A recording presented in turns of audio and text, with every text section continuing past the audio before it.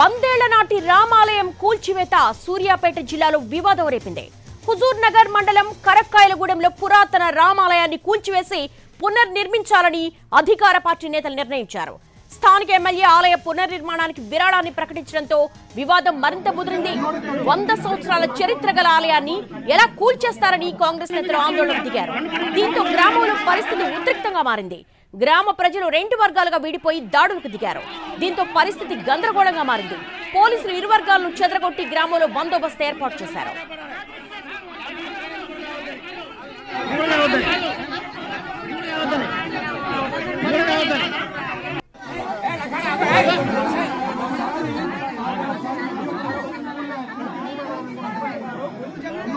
ఎంతో చరిత్ర కలిగిన ఆలయాన్ని కూల్చొద్దంటూ పెద్ద పెట్టున ఆందోళన చేసినప్పటికీ కూడా కూల్చివేయడం సూర్యాపేట జిల్లాలో వివాదం రేపింది.